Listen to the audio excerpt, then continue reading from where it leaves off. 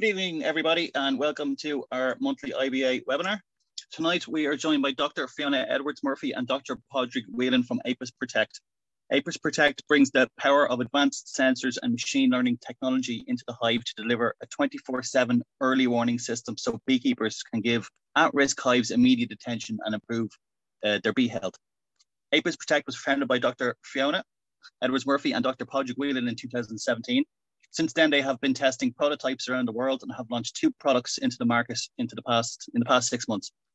Combining the sensor data on hive conditions, health, and activity levels with its proprietary big data and machine learning techniques, Apis Protect gives beekeepers actionable insights and alerts to help prevent losses and increase colony productivity. Contributing 153 billion euros worth of pollination to the agri-food industry annually, honeybees play an essential role in global food production. In the US Apis Protect has a commercial product for large commercial beekeepers using artificial intelligence and machine learning. Apis Protect has launched its hobbyist product in Ireland over the past few months, and they're here, here today to tell us all about the story so far and how this technology can help you with your beekeeping and ensure you spend your time at the hives that need your, your attention the most. Now, we're going to join um, both our doctors now in one second, but just a very quick housekeeping um, requirement there's probably going to be a good few questions for this webinar. So we would, uh, I would ask you to put your questions in the chat and we will uh, get through them one by one at the end if that's okay. So we're going to hand over to Dr. Fiona right now and uh, thank you very much, Fiona, for joining us. Great. Thanks so much, Stephen. Um, hi, everybody. Thanks so much for um, uh, having us uh, today to um, present to you. Uh, so I'm just going to share my screen here where I have my slides. Um, so usually what we like to do is we'll we'll spend about maybe 20 minutes on our presentation and then we'll get to questions because usually there's a good few questions and it's good to kind of focus on, on what you want to talk about and, and have a good chat. Um, so again, thanks very much for having us today. Uh, so uh, we're the, the co-founders of Apis Protect, um, myself and Padraig. Uh, I'm the CEO and co-founder, uh, but my original role in the team is uh, as the engineer. So I'll give a bit of an introduction to myself and Padraig can give an introduction to him himself.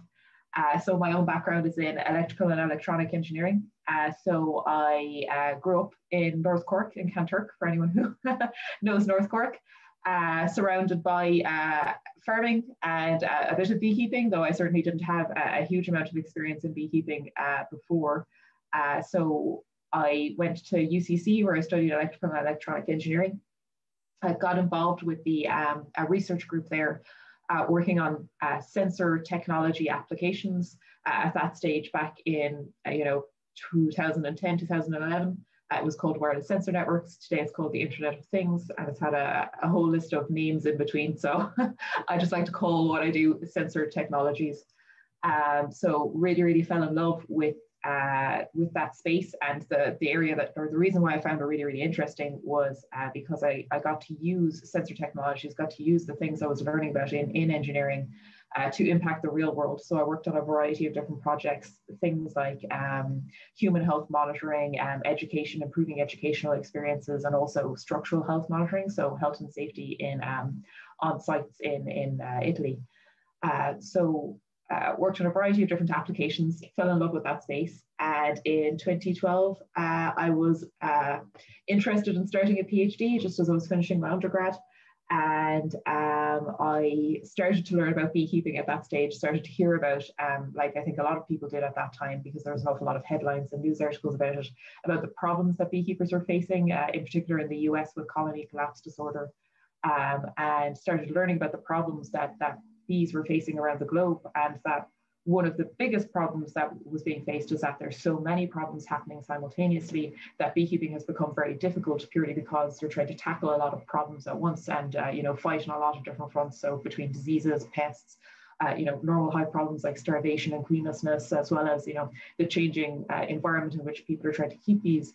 Um, and I was like, oh, that's a perfect application for sensor technologies. Uh, so I started my PhD, uh, co-supervised by Padraig, and uh, spent four years working on my PhD, uh, just exploring sensor technologies for beehives, and uh, realized over the, the course of that, that, that PhD that there was actually huge potential here to bring this technology to the real world of beekeeping. So take it out of academia, take it out of beekeeping research, and bring it to uh, real world beekeepers, uh, both small and large scale beekeepers. Uh, so that's the reason why I, I co-founded Apis Protect in 2017. Uh, what I saw was there was a couple of technologies on the market at that stage, but they weren't um, you know, uh, really well engineered devices that were suitable to be scaled up and sent out into the real world of beekeeping. They weren't uh, scalable in the way that they're um, they were collecting data, and they also weren't particularly robust for um, the real world of beekeeping, where you've got to be able to take off your roof, throw it on the ground, and stack your supers on top. Uh, so that's what I wanted to do when I set out in 2017. Uh, so I'll let Padraig uh, give his own background. You're muted, Padraig. So I probably know uh, quite a few of you in the IBA. Um, I'll see your faces later on. So um, as Fiona said, I was uh, one of her PhD supervisors, the, the bee men involved in it. And uh, so I have a background, um, 21 years teaching in UCC. And before that, I'd worked on the Galapagos Islands for five years and I'd worked in the Amazon rainforest for just under a year and a half. Um, so when I was in UCC, at one stage, uh, bees, a swarm flew into the roof of my house. And I, I, thought that was a sign. And I said, that might be an interesting hobby. So I, I got one hive and I went to Gormanston in 2004. Um, so I learned my beekeeping there. And uh, I then sort of started building up the number of hives. And once students heard that I had bees and there was all these problems with bees, more and more of them wanted to do projects. So they started undergraduates projects, then master's projects on things like drone congregation areas. Um, and then, you know, Fiona um, came and said, you know, I want to do a PhD. I had another student as well, Maria, um, who also uh, wanted to do a PhD. And um, she, we linked up with the uh, USDA to do that one.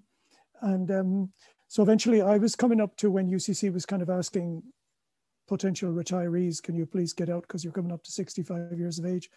Uh, can you go early? So Fiona said, I need a beekeeper. And I thought, well, I love doing beekeeping um, and uh, more time with bees. So I said, yes, I'll become the beekeeper in Apis Protect. And that's where I've been. And, you know, my, my background has been useful in terms of the, the overall biology and conservation that I used to teach in terms of the kind of habitats across the world, the different kinds of climatic conditions in which bees occur, um, also because I'd worked in South America, I've got fluent Spanish, and that becomes very useful when you're working in the United States because a lot of the migrant labor that comes up from Central America tends to be Spanish speaking um, with limited English in many cases. So I, I kind of, when I'm in the States, I'm working bilingually most of the time.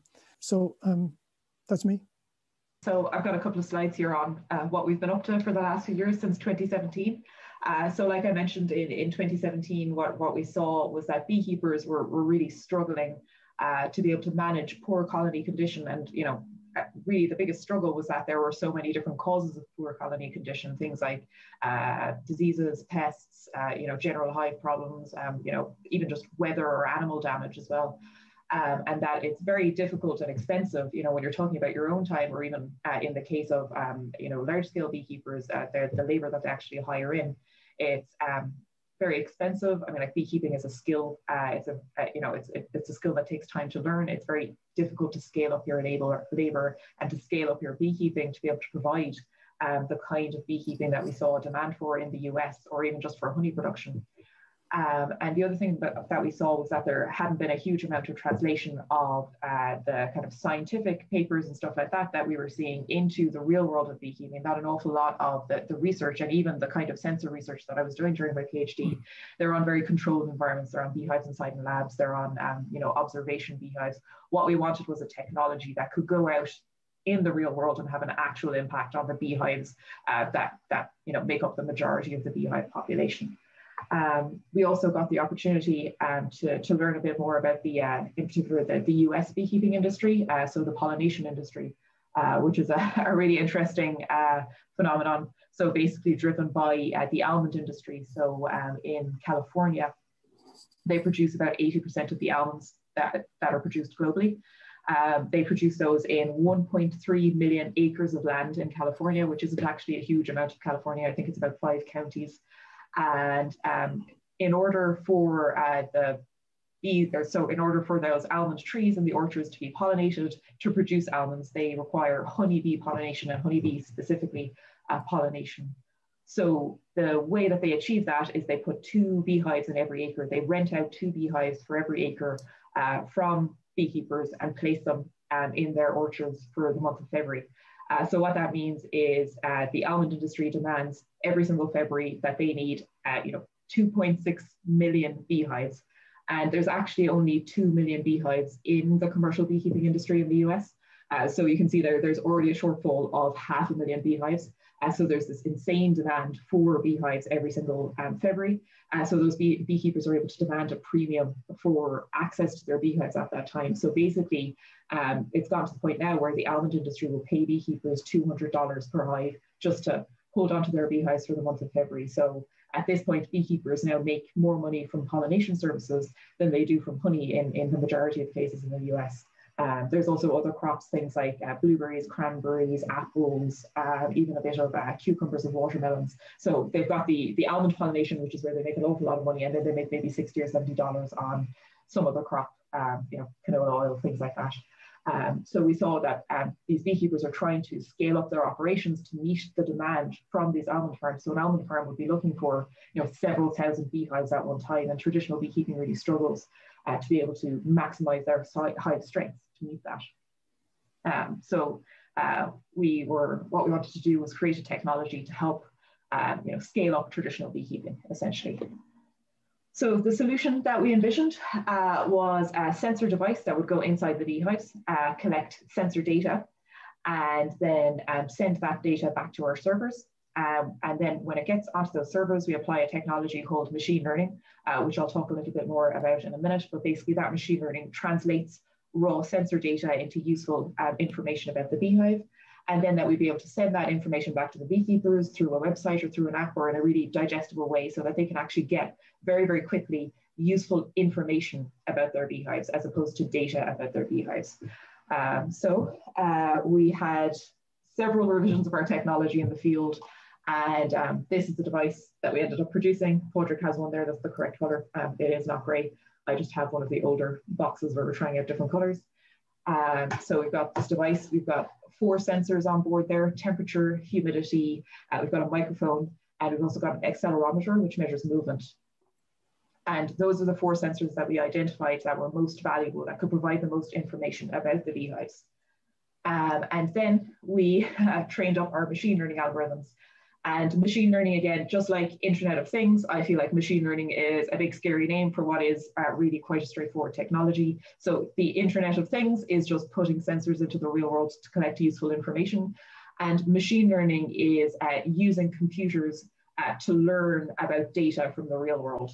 Uh, so what we did was we collected a huge number of examples of what our sensors, uh, the data that our sensors collect from healthy beehives from unhealthy beehives, from uh, beehives that are growing, beehives that are shrinking, beehives that are queenless. And we show uh, an algorithm, we train up an algorithm, we give it all of these examples, and it learns uh, from looking at that data and from looking at that data with the context of, oh, this is a healthy beehive, this is an unhealthy beehive. It learns what the patterns in that data look like in each of these cases and it's able to watch new data as it comes in and it can say, oh, I recognize this pattern and I recognize this pattern from a time that I saw a hive that was growing. So I'm going to say, I, am going to guess right now that this beehive is growing and it can get actually very, very accurate, much more accurate than a human can at understanding what that data means uh, because it's able to do it millions of times a second and it's able to do it 24 hours a day. And machine learning is a really important technology. It's how uh, Netflix knows what kind of movies you like. It's how uh, Google's self-driving cars are trained. So what they do is they collect pictures from the real world. They collect uh, pictures of cars, pictures of humans, pictures of traffic lights. They show those pictures to the machine learning algorithm, and eventually the car is driving down the road with that computer in its brain, and it's able to say, "That's a traffic light. That's a human. That's a traffic light. I should stop." Or that's a green traffic light, so I can go. That's a human. I shouldn't drive over them. So it's a really important technology, and we're using it to help identify um, uh, behaviors and conditions within beehives. Uh, so the first thing that we set out to do was to collect the database to build that machine learning and also get a bit of real world experience uh, about putting technologies into beehives. So I had a, a, small bit of real world experience from my PhD, but we wanted to scale it up very quickly. Um, so we were lucky enough, we managed to raise a seed round for our company in 2018. Uh, so one and a half million euro to help us uh, do this work. And um, what we did was we rolled out 400 sensors um, to 20 different locations across three continents. Uh, so our hives were in uh, the USA, Ireland, the UK, and South Africa. And um, we spent 24 months uh, monitoring those beehives, uh, collecting inspection data about those beehives. So a really important thing for machine learning is being able to provide the, a really accurate human understanding to match the sensor data. So we get the sensor data and we need a very objective, uh, well-qualified beekeeper to say that is a healthy beehive or that is a shrinking beehive. You know, the, the quality of both sets of data has to be as high as possible. Um, so that meant that Padraig and Richard, one of our data scientists, got to spend a, lot of time in some very nice locations uh, keeping bees. And uh, well, I got to do a couple of those trips too, but I'm less useful on the inspection side. Um, so I've got some nice pictures here of some of the sites that we worked in. Um, so first of all, here we've got um, a location in South Africa. So uh, we had some beehives in a wildlife reserve in the northern part of South Africa. Uh, this picture here is from a commercial beehive operation in California. So one of those kind of operations I mentioned earlier that um, rent out their beehives to almond farmers. Um, there's another uh, location here that's in the desert in Arizona. So uh, a slightly different kind of desert. and then here is uh, a honey operation that we worked with in uh, the Peak District in the UK. So you can see here we got data well, one of our objectives was to get data from a variety of different locations to try and understand uh, beehives in these like extreme locations uh, where they are kept. So very, very cold.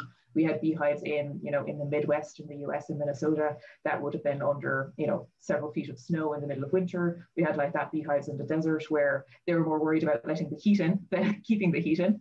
Um, and then like that, uh, different bee subspecies, such as, you know, um, here in, in Ireland and the UK, we've got our own uh, subspecies. In South Africa, it's a completely different, is it a species or subspecies, Patrick? Two different subspecies. The, the two different subspecies. Two different subspecies. Yeah. Okay. And then in the US, where they have pretty much a hybrid of a variety everything. of different kinds of bees. Yeah, bit of everything. um, and then, you know, using uh, the experience of putting sensors out into the real world over um, three years, uh, we developed this device. Um, so uh, we put an awful lot of our learning into that. So learning about how narrow we need the, the, the device to be. So it's 1.5 centimeters or three fifths of an inch thick. Uh, so one thing that we learned was that a, a lot of commercial operations use uh, very, very small hives. So their hives are as, as, as compact as possible. So there's very, very little space around the outside of the bees.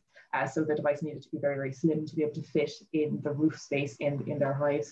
So you can see here installed in a, this is called a, a commercial beehive uh, in the US. Uh, so you can see it's basically just a plank of wood that sits on top of the, the, the box of bees.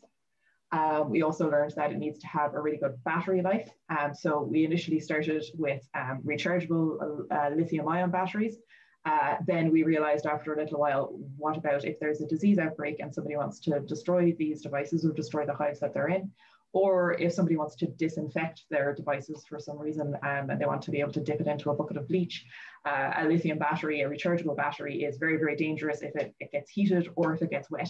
Um, so we very quickly switched over to disposable batteries, which are a lot safer in both of those conditions. And um, so that was another piece of learning. Um, and as well, we've got a battery lifespan of, of uh, two years on a, a, disposable battery. So it's able to, to last an extended period of time while still using those disposable batteries. We realized it needed to be able to be installed in the beehive very, very quickly. Uh, so it's very, very straightforward, just two screws, one on either end. Uh, so it can be installed in two screws and put in a set of batteries. We say less than two minutes. I, you know, practically that doesn't really take two minutes, but just in case someone's um, very slow with their screwdriver or something. And uh, it's completely self-installed by the beekeeper, doesn't require any technical expertise to install. So we manage things like the SIM cards and the, you know, the data, uh, extracting the data from the device is all handled uh, by our, our engineering team. So what we wanted to do was completely um, make this technology never have to never impact the actual keeping beekeeping activities that need to go on. So like that, it needs to be robust enough to throw it on the ground. Uh, it needs to be able to uh, keep working, uh, so it's propolis resistant as well. And uh, that's often a question we get, how do you solve for propolis? That was a, a long, a long engineering process. Um, so yeah, basically, it's robust enough to live in the real world of beekeeping, which was one of the things I set out to do from day one. And uh, what we see, uh, the key benefits that our beekeepers who we've worked with have found from uh, using the device in their operations is uh, the data that we provide to the beekeepers that helps them manage their time and resources more effectively because they know what's going on in their beehives.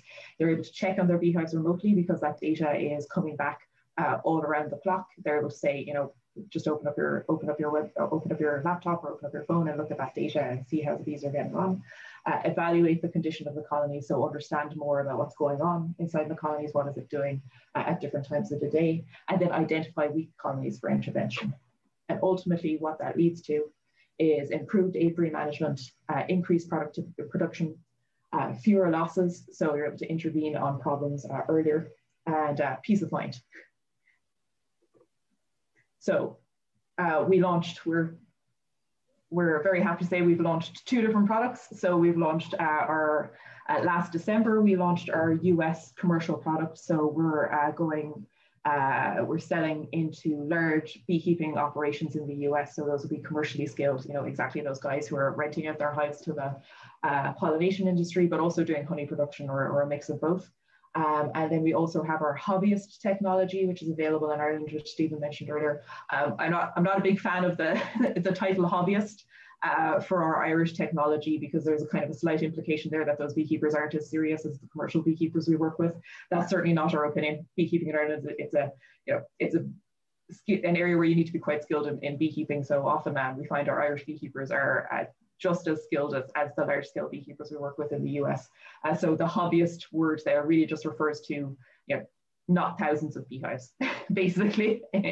um, so uh, Padraig is going to take you through a little bit more about how our, our product in Ireland works. Yeah, so the um, as, as Fiona was saying, um, this this monitor, if you like, monitors your hive. And the way the way I like to think about it is, you know, I talk to people about it. It's being a bit like a baby monitor inside in a beehive. Um, you know, when it gives you peace of mind or um, you know, you you you get to know what's going on. So here on this table, if you look at it here, um, in terms of managing your time and resources, you know, if I've got hives out in my garden, and um, you know, I know that if I'm going to go through all 20 hives, it's going to take me the best part of Sunday afternoon to do it. On the other hand, if I look up the, the laptop and I can see that actually there's only two hives that kind of are out of line compared to all the other hives, or there's some trend in the, the information that suggests I need to take a look at them, well, then I'd only look at those two hives. And so, for example, um, I've had a hive recently, and I mean, I kind of locked down my hives in October and didn't go near the frames until about a couple of weeks ago. But there was one of the hives had, um, you know, was tended to be kind of cold compared to the other ones in terms of the temperature readings. So I, I decided I'd open that one up, and it, it turns out the colony was particularly weak. Um, there was an awful lot of empty space inside in the hive uh, for the number of bees that were in there.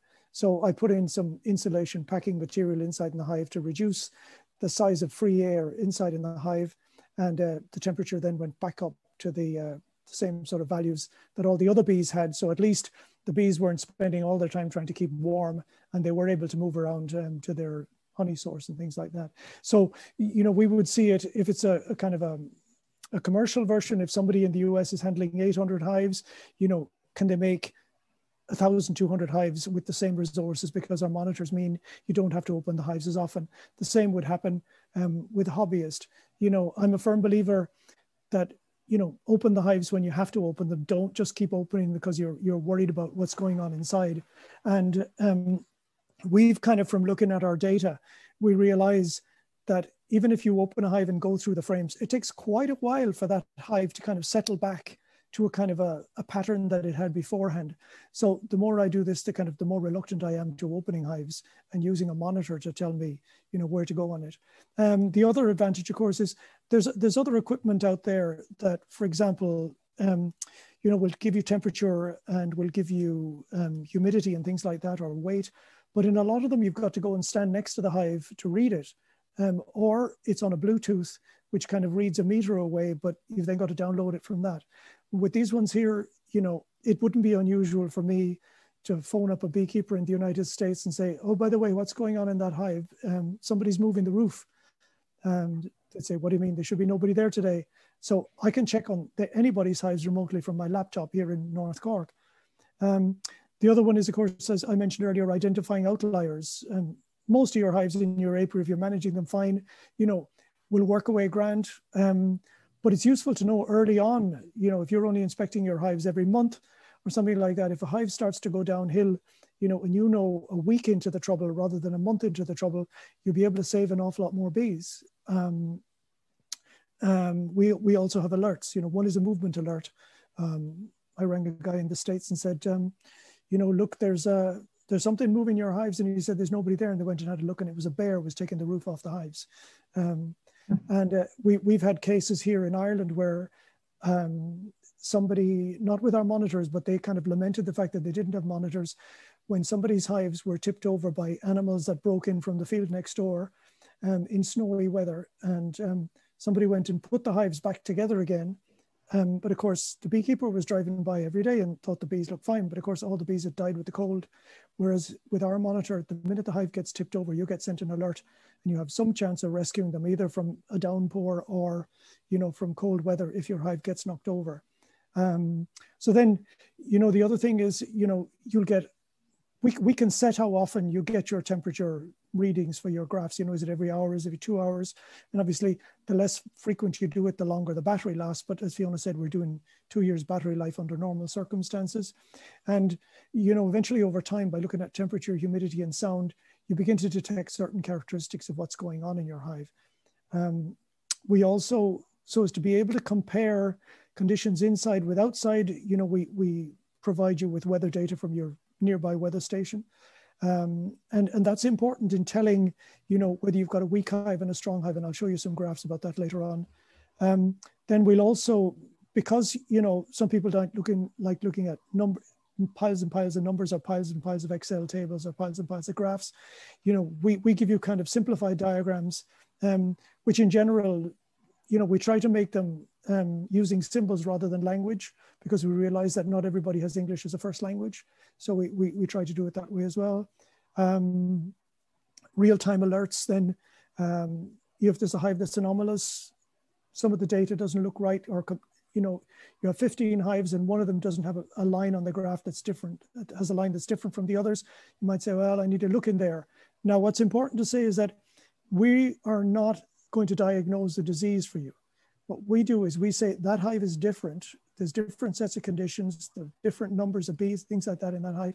Um, so we would say there's different conditions in that hive, but you, we rely on your skill as the beekeeper to identify, you know, whether it's a varroa problem, whether it's a starvation problem, whether it's queenlessness and things like that. Um, it's your skills rely on that. Um, Fiona says, you know, she uses an example, you know, where the stethoscope, but the doctor does have to look at the condition of the patient. Um, and then, um, you know, I mentioned movement earlier on. If, you know, in Ireland, you, you wouldn't be looking too much at high and low temperature alerts. But, you know, in places, you know, where it's very cold, uh, low temperature alerts can cause problems. And we've seen in deserts where the temperature inside an hive can go up to 50 degrees and over. And then you begin to worry about wax melting. You know, you need to open your vents, increase the ventilation inside in the hive, and you'll get that alert from us instead of, you know, being 50 miles away. And I mean, when I was in a place in South Africa, it was a six hour drive to the hives. Um, so knowing what's going on, you know, from your your home in Johannesburg as opposed to, you know, having to drive six hours to find out what's going on is extremely useful. And then um, we we take the conditions that the manufacturers give us for miticide treatments. Uh, you know that there are certain temperature conditions, there's certain humidity treatments, certain humidity conditions, and we would look for those in your data, and we would tell you, conditions are now suitable for the application of whatever. Um, you know, they're, they're miticides, but, you know, there's also feed in some cases. Um, there's also, you know, you'll see in some countries antibiotics are allowed. And so whatever the conditions the manufacturer state, we'll give you a warning when the conditions are appropriate for that. And then, you know, you know the way we all keep information, some in notebooks, some in bits of paper, some in phones and things like that. Um, we have a way of recording the information. So for instance, I inspected the hive on this day, I added feed on this day, I added a queen on this day, um, I split the hive on this day. You know, all that can be added on the computer and it all comes out uh, link to that particular hive. Um, there's, a, as I said there, it has the log that's involved as well. And then you can also give get graphs of that kind of information. So it's a kind of a, a system that helps you, I, I suppose for the hobbyist, it, I think it gives you a bigger insight into what's going on in the hive. If you're interested in what the bees are doing, um, you learn more about it. Um, it's also, I think, labor saving uh, in that you kind of only observe or go into the hive when you need to.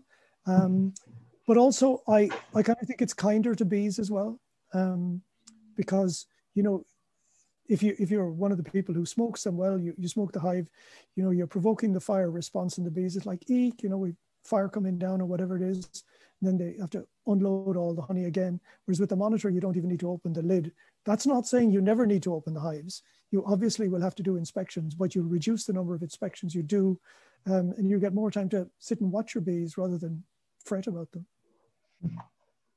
Okay, I go on to the next slide? Sure. I'm going to try to go on to the next slide. There you go. so sure, here's a, do you want to talk about this one and I'll talk about the next one or whatever? Sure, yeah. So um, yeah, yeah. this is the um, the first screen. So um, uh, once you've installed our monitors in your beehives and they're up and running, they're sending data back to, to the servers, you're able to log into our web console. So this is a website that you log into, and that's where you actually access the, the data and the sensor, the sensor data and the insights from your beehives. And one thing that we put a lot of work into, so through our, our machine learning and through our data science team, um, is uh, being able to pull out and identify the beehives that are behaving differently. So that's the, the primary thing that we do um, for, for beekeepers in Ireland is we say, um, here's the outliers. So by outliers, we mean these are the beehives that are behaving outside of the kind of normal beehive behavior that we see. Um, so here in this experimental apiary with 15 beehives, you can see there's three beehives that are, have weird temperature behavior, one beehive with weird humidity behavior, and two beehives with weird sound behavior. And so some of these, like it might be, some of these might be the same with beehive that has both temperature and humidity odd behavior.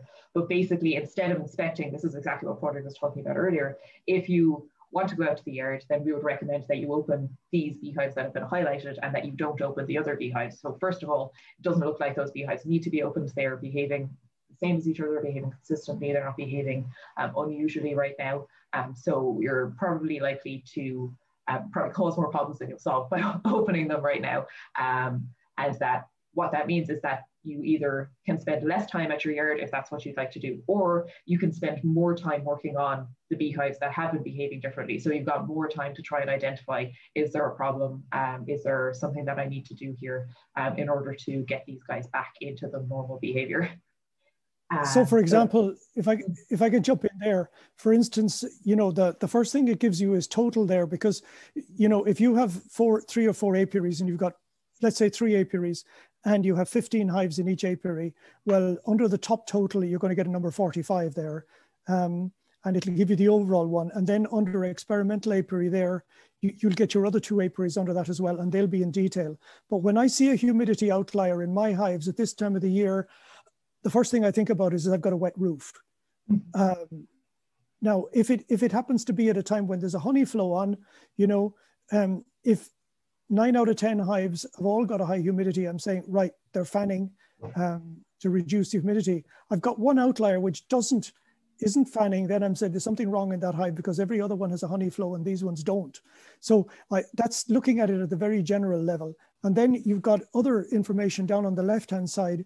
Um, which talks about the kind of reports that you can present and the reports that you can compile. There's an online user manual there as well. Um, so if you move to the next one, maybe. Yeah. Sure. So here, um, you'll see this is a, an apiary in the United States. And here you've got a kind of across the top, you've got your local weather conditions, you know, at the time that the you you turn on your laptop, and you you have a thing called an apiary chart. You know, if you move down to the second line where you've got the horizontal orange bars, it says apiary chart, and that will give you kind of an overview of all the hives uh, with temperature, humidity, um, sound. Um, and then you can get the, the weather for that local apiary over a longer period of time if you look at the apiary weather chart. Um, Then you have, you know, number ascending or number descending. You can have your every, every one of your monitors will have a number. So do you want them in ascending or descending order? Um, then under the other column, you, you can ask for um, other elements of sorting. But if you look there, you can see the number 540 on your top left-hand side. You can see there that there's a little white beehive in an orange square. And the little white beehive um, standing upright like that means that it hasn't, the roof of that hive has not been moved or the hive hasn't been bumped um, since you last inspected it and reset it. On the other hand, if you come down to the row below, you'll see that there are two in the middle that have actually got the little hive lying on its side, which means that it's been bumped um, or the roof has been lifted in that particular time. Um, so that would have been, alert would have been sent to you and that's recorded there. So um, you then have, it's not shown on this, but if you have a white colored hive, it means the hive is in okay condition. If you have a black colored hive, it means the hive is dead or what in the US they call a dead out. Um, and if it's a hive that's gray, it means that the machine learning hasn't made up its mind um, as to exactly what the condition of that hive is. But that's one you're definitely going to look at because you'd rather over inspect the hive and make sure it's okay than ignore something that maybe is an amber warning light rather than a red light. Um, so you can look at that and then you get a battery level indicator. Um, and um, we then provide other information on the little plus symbol uh, in terms of interpreting the data further. And then. So, so here's a here's a typical sort of screenshot of what you get. And um, you can see again on the top, top red bar, you have your apiary chart and your weather chart.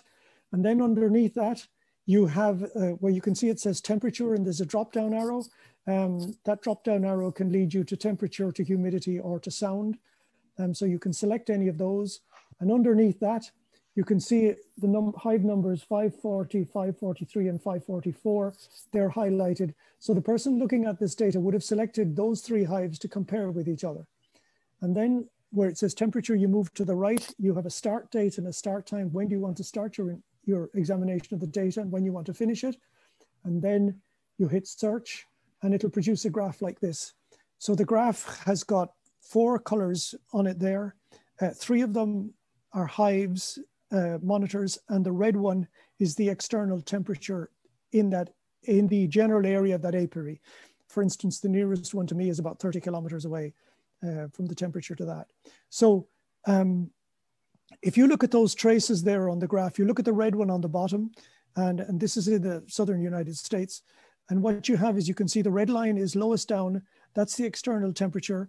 And where you see the peaks, that's kind of early afternoon, late afternoon. and where you see the dips, they're nights. So you can see the red line dipping regularly, which is the nighttime temperature.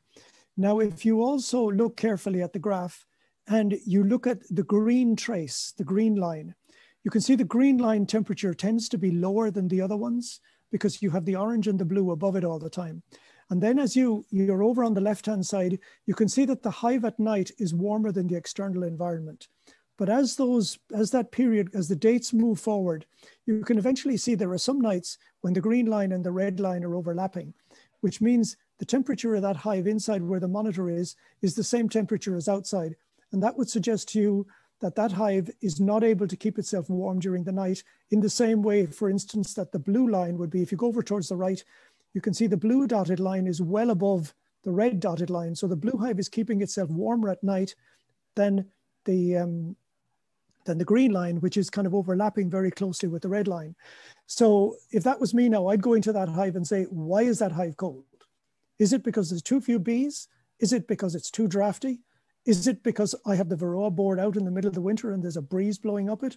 Is it because the site is too, it's not that the site is too windy, because obviously some hives are able to keep warm, but that'll give you information. And that's the kind of information I used to kind of shrink the air volume inside in the colony that, that was weak um, because of the fact that hive just couldn't keep itself warm. And then, you know, if it's too cold, well, the queen isn't going to start laying. If she does start laying, you're going to start losing brood and there's not enough bees to keep the brood warm.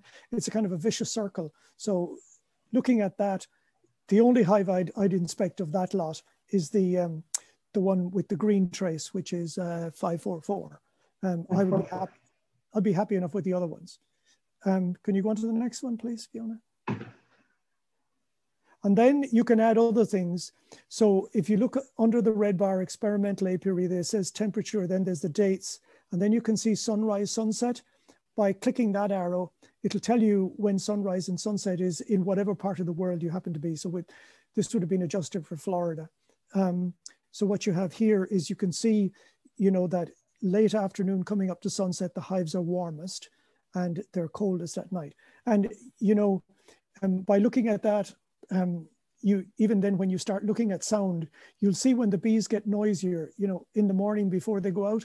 Sometimes they don't even wait until sunrise to start getting worked up. You can hear the noise kind of going up in the hives before sunrise. Um, and then when the bees stop foraging in the evening, you know, there's more bees inside in the hive, they get noisy, then they get quieter again. So you can you can learn an awful lot about your hives by knowing kind of the time of the day, um, what the conditions are inside in the hive. And, and overall, you know, I, I think it gives great satisfaction to, to working with bees and, you know, it, it allows you to do better use of your resources and, um, you know, does hmm. not interrupt the bees unless they really need to be interrupted, I feel. Do you have more to add? Yeah, maybe something. Yeah, just one more thing to add.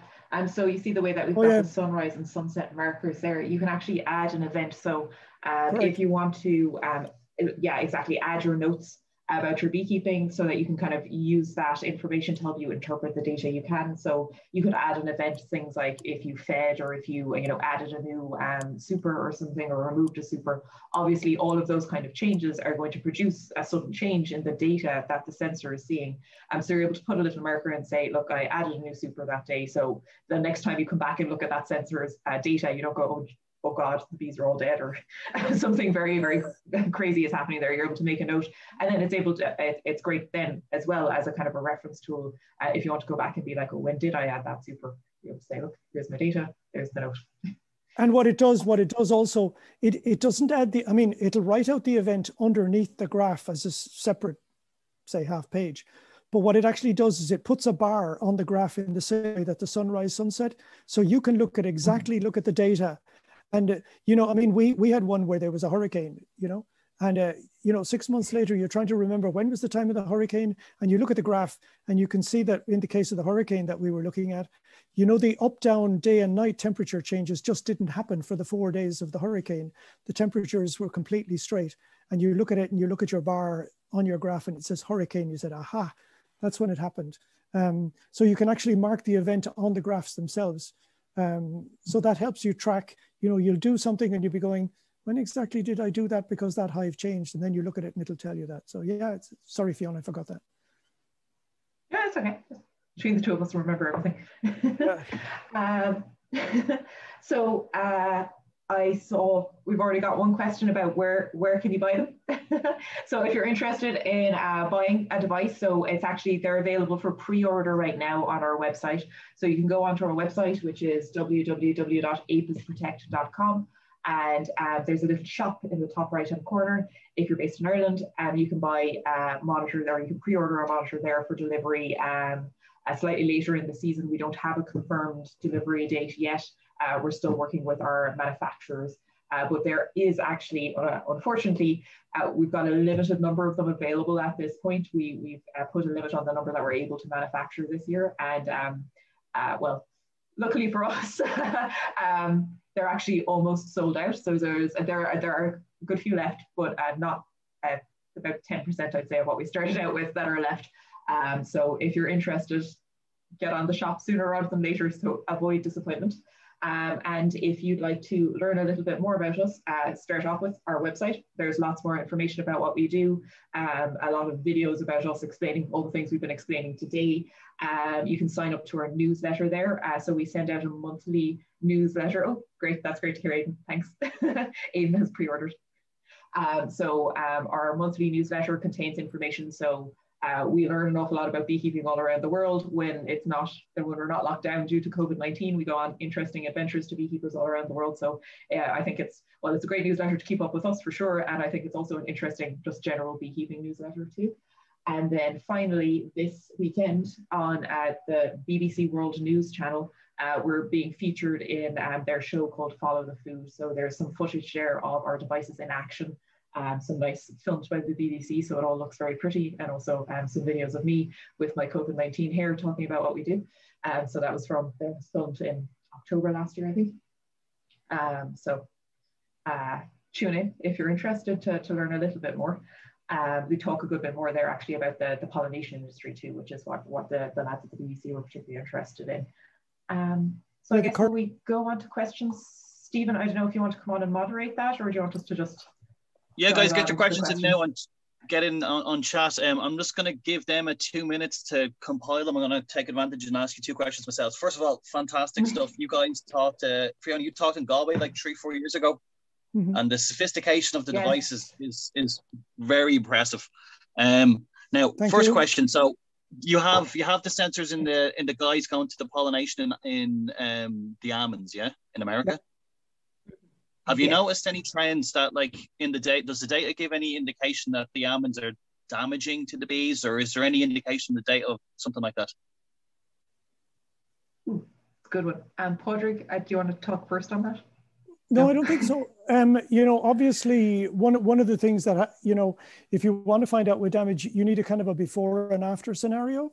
Um, um, but one one of the the particular concerns about almonds is one that you know people do use even carefully they, they use pesticides on almonds because there's several um, you know fungi and insect pests that, that attack the almonds. And and you know obviously the the good growers you know will will apply the insecticides at night or you know at times when the almonds are not flowering.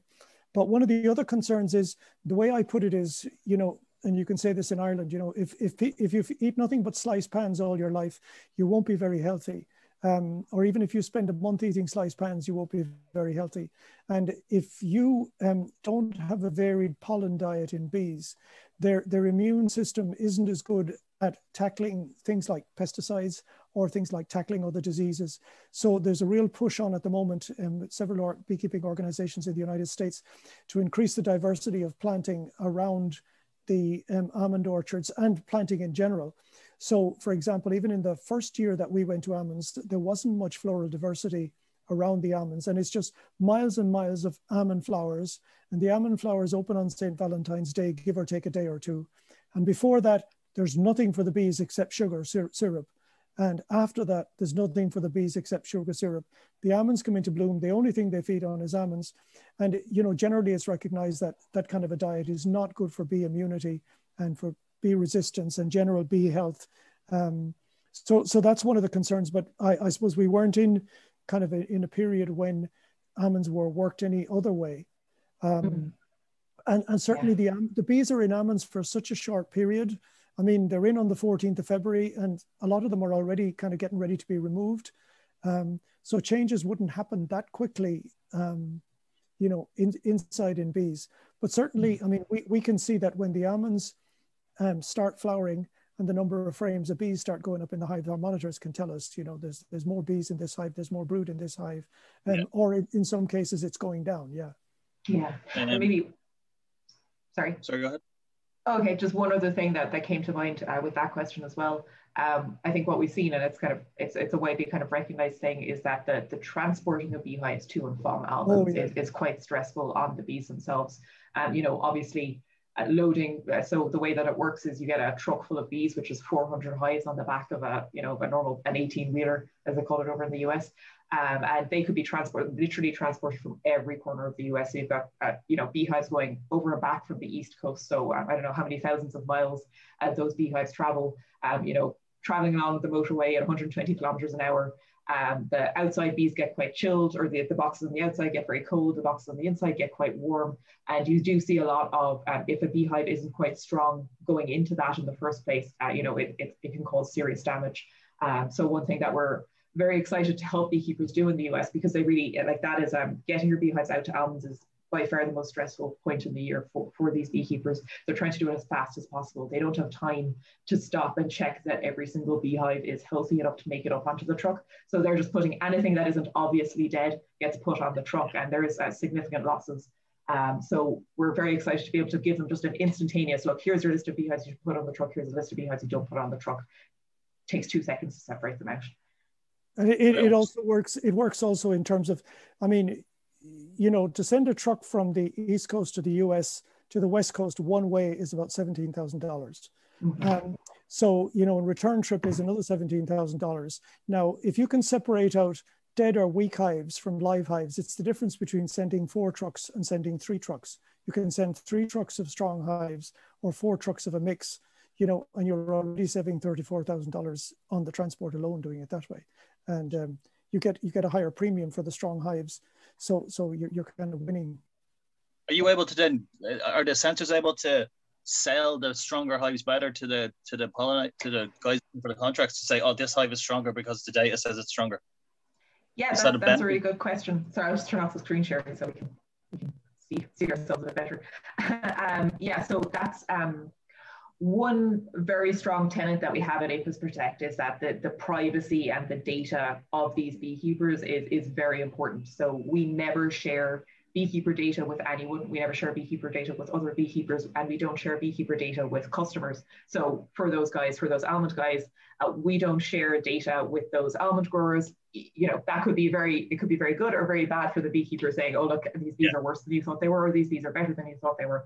But we do give those beekeepers the reports and they could be very like especially if you're a beekeeper puts a lot of effort into making sure you have very good and very strong very high quality hives uh, that would be a very useful thing for a pollination contract negotiation. Uh, but we do leave that up to the beekeepers themselves. That that's something we um we're kind of aware of the value of this data and the potential um, value of this data to other people in the food chain besides beekeepers. And um, so we want to make sure we don't accidentally cause damage to the beekeepers themselves with our own data. Mad. Okay, that's really interesting. Um, okay, you guys obviously are very, very familiar with big data. I had touched on it years ago myself. Um, what, if anything, have you found really interesting that you didn't expect to come out of the data?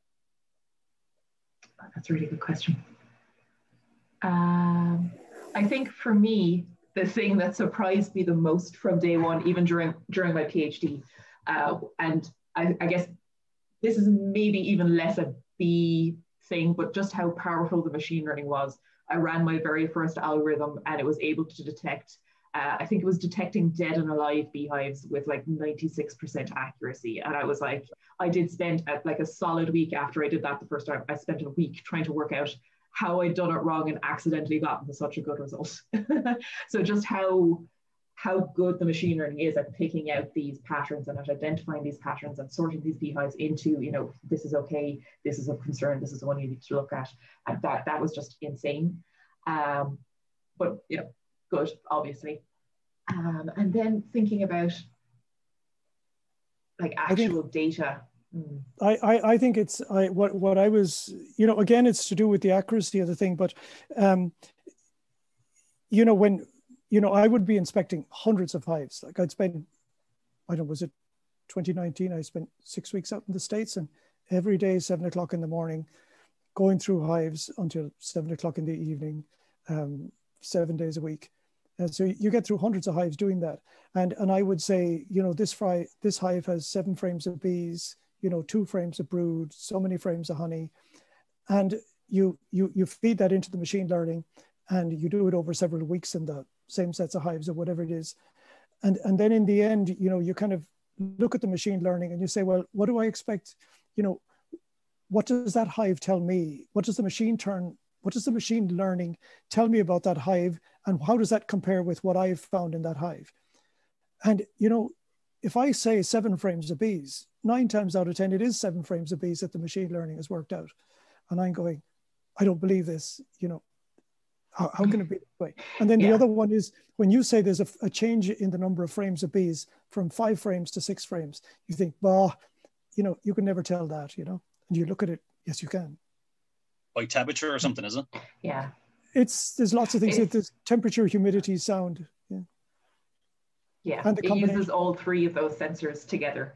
Um, yeah, so that's the, the unfortunate thing about machinery. We do get asked a lot, like, you know, how does it know this? And it's like, the way that machine learning works is it, it goes, oh, we push all this data into a black box, into a, you know, a computer, and the computer does its thing. And it's not able to come back and explain how it knows that it just does know it it's kind of like one of the the, the, the best analogies around machine learning is uh, when you're teaching a machine learning algorithm how to identify a cat and identify a dog so yeah how do you know if I showed you a picture of a cat? how do you know that's a cat? You can't say it has fur, so it's a cat because dogs have fur. You can't say it has pointy ears because some dogs have pointy ears. Has a tail. Some dogs have tails. Some dogs don't have tails. But yet we never ever mix up a cat and a dog. I mean, like, or I've never mixed up a cat and a dog. uh, so it's kind of like it's sort of it just knows, and it can't really explain why. In the same way, you can't explain how you always know what a cat is. yeah. um, another really interesting uh, thing that came out of the sensor data um, that unfortunately it's on the kind of the, the less happy side. It's identifying what went wrong after um, several beehives have died. So we had one operation where um, they were um, very worried that there had been a pesticide um, kind of exposure and that it had led to their beehives dying. And we were comparing sites where we had large dieouts of bees and we're able to see, uh, look, after a pesticide exposure, you have this really short window where you've got a lot of beehives dropping off very, very quickly. Whereas, uh, you know, uh, death due to another reason, so something like starvation or some other problems, it's going to be a much slower decline over a longer period. Yeah. Um, so, you know, that's not as not as fun as helping save and identify problems in advance, but still very valuable. Um, you know, kind of doing basically a postmortem on what, what's happened here. Yeah. I think the okay. other one. Sorry. No go, no, go ahead, Patrick. No, no. The the other one is I I, I suppose. You know, you the, the ability to see how long it takes hives to get over an inspection. Um, mm. You know, I mean, you know, we, we go, we, we, you know, smoke or not smoke, take the roof off, you know, go through the frames, put it back together again. And you think, grand, those bees are going to calm down. You know, you could be looking at 12 to 24 hours before those patterns reestablish themselves again in some hives. And I'm going, you know, when you're thinking about honey gathering or, you know, when you think about the general behavior in the hive, queen laying, how much of that are you upsetting, you know, by going through an inspection process? And you, you really, when you put the lid on the hive, you don't know what's happening after that. But when you look at the monitor, um, we used to have a CO2 monitor in, in original models, and, that used to show us very well. Um, exactly how inter, how in, invasive uh, an inspection procedure was. Um, that actually touches on a point. So I came across this stuff. Uh, I think it's fringe, but there's an idea that the cluster in winter has something called a carbon dioxide shield, so that kind of insulates the bees. Is that something mm-hmm. you were able to see? Is like, is do you have any information on that? Because I never saw any science on it. It was just a fringe idea. Did that ever come up on your data? Well, um, yeah, I, have never heard of, of CO2 shielding, but definitely what we saw in overwintering beehives is, um, you know, it, when it's closed up, when the bees are all clumped together as much as possible, you do see the CO2 levels go way higher. That was one of the, the first things um, pretty early on. Um, we were trying to get purchase our CO2 sensors to go into the device. And from my PhD, I knew that we had like it, it saturated my CO2 sensor, which means the CO2 levels went higher than my CO2 sensor can detect and yeah. um, we were searching for a CO2 sensor to put into our device. And I was like, I, I, need a CO2 sensor that can go up to, you know, 10, 15,000 parts per million, which is a very high CO2 concentration. Like that's higher than, uh, I don't know if humans would definitely die, but we get pretty oh, easily, easily. they would die in yeah. it. Yeah, yeah. yeah. Um, so that's, I, I, can't do the maths in my head. I'm not going to try. and what kind of percentage of CO2 that is. And people were like, why do you what need was, a CO2 sensor that can measure that? yeah. So, what was your goal for the CO2 sensor? Just to see, or?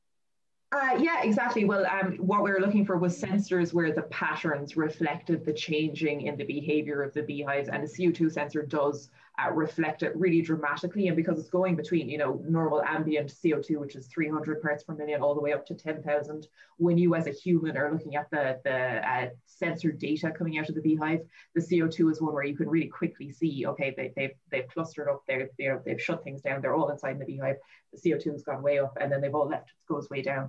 And so when we were kind of visually interpreting the data, the CO2 sensor was very important. Uh, but then um, first of all, the CO2 sensor is very expensive because obviously we are using a very specialized CO2 sensor yeah. that was, um, it was half of the price of this entire device or CO2 sensor was. Yeah. Uh, yeah, which is a lot. And it, this would be a lot more expensive if it had a CO2 sensor in it. Um, and um, so we wanted to get rid of it for that reason. Uh, because we wanted to provide it at a low price if possible. And then secondly, it also used more than half of the battery of the device as well, because they're very power hungry sensors.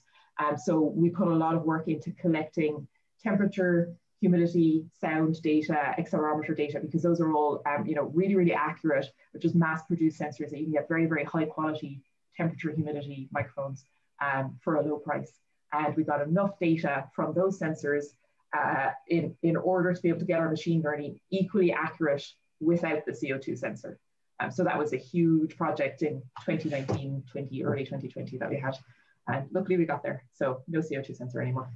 Interesting, interesting. Because like the, the idea that they were trying to promote at the time is that CO2, I'm going to get this wrong, CO2 is a better insulator for infrared heat or bounces it back.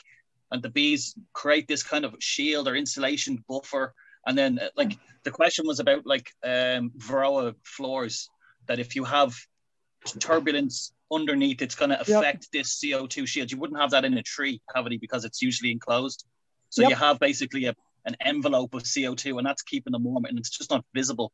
So we don't think about it. But then if you have a Varroa floor and there's breezes going through it, are you damaging that and that's what's chilling them or uh, mm-hmm. obviously it's it's not studied yet, so it's hard to hard to say. There's a question here you might be able to answer better than me. Uh, Mary is asking, why does the CO2 not kill the bees? That was really like when when I first started getting that data during my PhD, again, I was like, my CO2 sensors are broken. Um, you know, that's the only explanation for this. The CO2 sensors are broken. So we took them back, calibrated them. They were, they were accurate.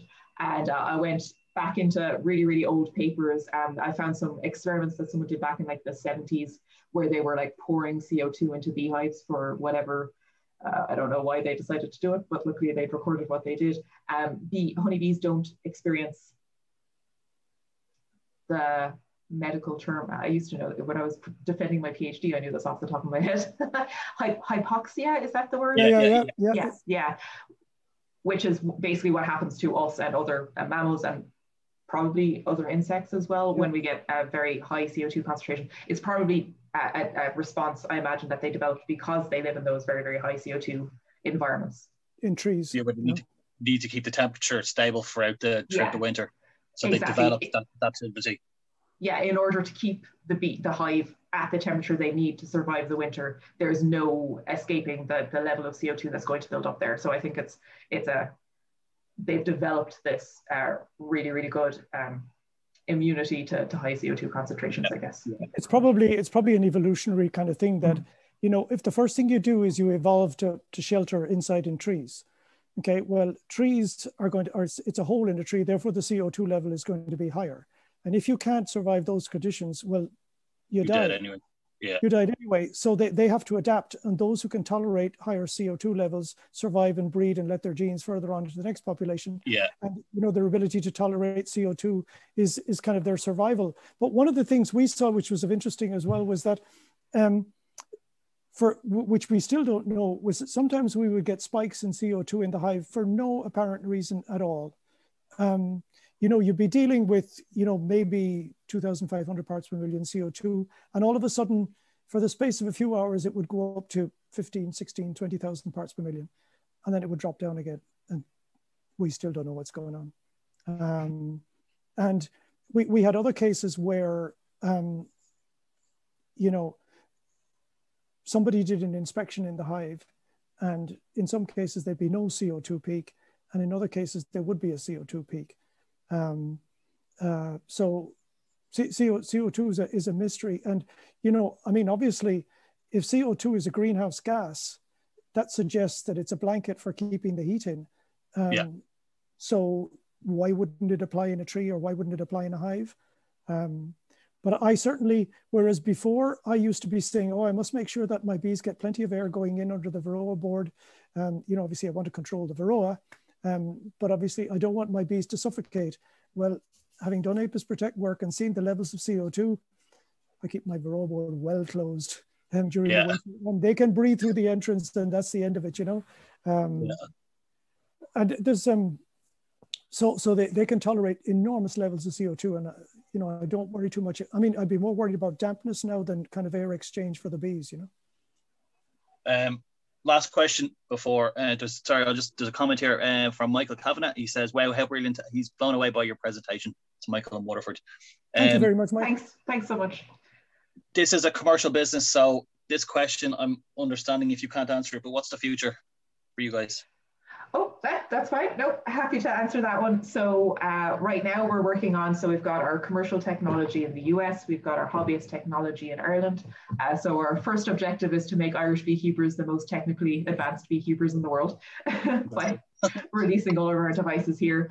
Uh, then we want to bring our te hobbyist technologies to more markets, so um, to, to, more uh, European countries as well as uh, eventually the US too. I did see a question earlier, somebody who would be categorized as a hobbyist in the US. Yes, right now, unfortunately, our technology isn't available um, for that kind of setup. Um, it's just a case of uh, the hobbyist technology is our newer technology. So we've limited ourselves to beekeepers where our team, so our R&D team is based in Cork and our sales team is based in the US. So we want to keep our, our newer devices and our, our, our new product close to our R&D guys who um, are available to help if you know people have questions and stuff like that. Fantastic. Oh, and, and sorry, yeah. So scaling up, that's get this technology out to as many beehives as possible, help as many beehives, help as many beekeepers as possible. Is our there's a, there's um 91 million beehives in the world. Yeah. Uh, we're not going to get all of them. We'll aim for 90. Yeah. All right, guys. I think uh, if there's any more questions, yeah, just uh, Mary Watch saying thank you for a brilliant talk. Um, thank, thank you, all of you. Questions there. But this was very, very interesting, guys. Uh, thank you very much for giving us your time, and I really hope you the best with the with the product in the future. Um, yeah, thanks. thanks so much. Um, um, if you if you sign up with our newsletter, um, there's a there's a particularly interesting link that we put up there today, which is on this whole pollination industry in the United States. There's a, a short video which shows you know right from the time that all the bees are taken out of they call them yards, their apiaries at night, put on trucks, driven across the U.S. The way they're inspected going into California, the way they go to almonds, the way they're taken off almonds. It's a it's a short video, but it's really enlightening to show you the scale of the thing that is just gobsmacking. Mm-hmm. Um, yeah. as an industry. Exactly. Uh, just one more, I see one more question just popped up here for me. Um, what kind of hives are needed for our technology um, in, in Ireland? Um, so any, not, not any kind of beehive. I mean, like we've worked with um, national beehives, we've worked with commercial, we've worked with Langstroth beehives. Uh, we do have a couple of customers with um, the polystyrene hives that are kind of similar in their layout to those kind of, you know, those up and down beehives or you've got the brood box and you've got the, the supers on top. Um, the technology works the same in all of those as long as it fits into the space that's available. Uh, we have had a couple of people approach us with um, top bar beehives, uh, which top is bar hives and, lay, and Layens hives, yeah. Yeah, yeah. So those are setups that we haven't tested. Um, the most important thing is to make sure that the air is flowing up from the colony to the sensors themselves. Um, so basically, we've seen some top bar hives where there's no air, air exchange at all. So I don't think it would be suitable there, but there's some of them where there are gaps. So you know, make sure that there's airflow from the colony to our sensors. At basically, regardless of what kind of setup of hive you have, as long as you've got airflow, our sensors should work fine. Yeah, in Spain they have um, in Spain they, they I've seen advertised two kinds of Layens hives. One of which the top bars are kind of even sided and, and so close together, no air goes into the roof space. And then mm-hmm. other ones, um, you know, if you turn a Hoffman on its side, so it's kind of wasted. So your, your, your top bars, you know, are kind of wide at the ends where they sit on the, the hive itself, and then they get narrower as they come towards the center over the brood area.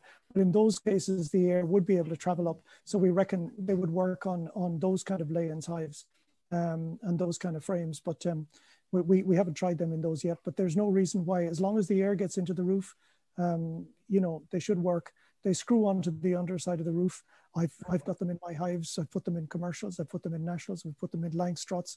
And, um, you know, it takes me with a screwdriver, it takes me under a minute to put them in. Um, and, it, you know, it's, it's not even as difficult as IKEA, you know, it's just two screws and, and a screwdriver. It goes in and we do all the rest. Um, you're, you're giving me a question there. If you can answer this, it might be controversial. Do you see anything in the data that suggests that treatments have any effect on the status of the bees? Ooh, that's that's a good one. I'd say it's too um, early. Um, yeah, yeah, yeah. We we we certainly. I mean, we certainly had hives, you know, in the U.S. that we've seen treated with formic acid, um, you know, and the, um, you know, the monitor doesn't collapse under those ones and we, we haven't noticed anything particularly severe with in, in those particular yeah. cases. But but I would say, you know, I'd, I'd, we'd like to do more on that. um, mm. before we get in. That we certainly haven't seen anything, you know, dramatic um, yeah. in terms of pesticide applications yet.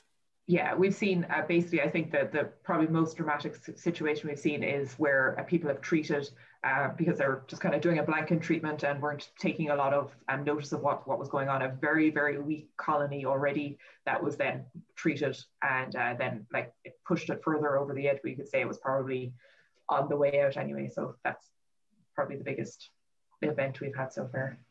You need more data basically. Yep. Yeah, yeah. Is there a lot of questions like that? That's the same answer. Um, I would say, and not too much. I mean, I guess basically one of those things that the more we learn, the more questions we have. Basically, you know, yep. the more the more we understand the stuff that that the the better we get at answering the questions we already have. But once we answer them, we get new ones. So, um, you know, we've got other questions like uh, people are really excited for us to, to try and detect things like queenlessness. And, um, you know, we often get the question, oh, are you going to be able to measure uh, varroa levels. And like queenlessness is uh, yeah eventually once we get enough data varroa levels then is kind of but that's a more difficult question to solve. It's kind of a swarm we don't swarming? Yeah swarming is another one we get. Swarming is another one yeah. That's so the right piping now, you can you can detect that. Uh, yeah, well, I did a bit of work on that uh, earlier. Um, so a little bit at Apis Protect and, and a good bit of my PhD um, right now, we don't listen out for piping. What we do is we're basically monitoring, you know, if your colony is really big, if it's getting really warm during the summer and it's, you know, it looks like a really big colony, then it's basically like a, this is one is in the danger zone. If it's a nice day and the hive is jammed packed full of bees, that's the one that you should be watching out for swarming. We don't detect swarming right now. Yeah, yeah. Um, there's a question here. Does the device interfere with the bees at all? Yeah, that's actually, I should have brought that one up myself. That, that's a question we get an awful lot about the, I presume we are talking there about the, the radio within our device, the, the, the transmitter that sends the data back to us. And um, no is the answer. So first of all, uh, we've, I, I'm like, I'm on year number nine now of monitoring bees, I think eight, eight definitely, maybe nine of monitoring bees. Uh, have never, in all the beehives that we've ever monitored, have we ever noticed a difference between the hives that we're monitoring and the other hives in the apiary. So we always have other beehives that are not instrumented with our devices, so beehives that are behaving perfectly normally and beehives that are monitored. There's never been a, a, a, difference in performance between those two sets of bees. And so that's a lot of that's a lot of evidence, a lot of I guess anecdotal evidence. And then secondly, uh, there is a lot of research out there at the moment into the effect of RF transmitters on beehives. And basically the, the, the conclusion is there's not really a lot of evidence that there is damage to beehives from RF signals, uh, but the kind of general guidance is there should not be more than, they shouldn't be exposed to the radio waves for more than two hours a day. The way that we transmit our data, our radio only turns on for a couple of seconds once every few hours. Um, so it's actually, we uh, are limiting ourselves to a quarter of that. So we don't use our radio for more than half an hour a day, if you get what I mean. So that saves your battery. Seconds. It does. It saves our battery it means that our bees are definitely safe. Everybody wins. So it's like you're sending a text message once an hour to whatever the frequency of the, the guy set it up as, yeah? Exactly. Yeah, yeah, exactly. So basically, uh, I'm quite confident that our device inside the beehive doesn't isn't exposing your beehives to any more radio interference than they get from just literally sitting in the countryside where there are mobile antennas, people driving past in their cars with their phone on and stuff like that, which they shouldn't be doing, but they definitely do. That's fair enough. Um, uh, guys, that's I think that's us for tonight. That was fantastic. Uh, thank you again for giving us your time and talking about your work. Um, everybody, thank you. I, I suppose I speak for everybody for to say thank you for, for your time and uh, have a great night. Yeah. Excellent. Thanks so much for having us. Hi to anybody no. who knows me in the IBA. Hi. And hi to any of our test beekeepers who might be here. Thank you so much if you're here and obviously, you know, we're we're keen to, you know, for anybody that does install monitors, if you do get something weird, we're we're particularly interested because obviously your data is confidential to us, but we might be getting the same weird message from half a dozen other beekeepers in your region that we can't tell you about, but we can say, oh yeah, maybe here there's something going on here that's merits further study.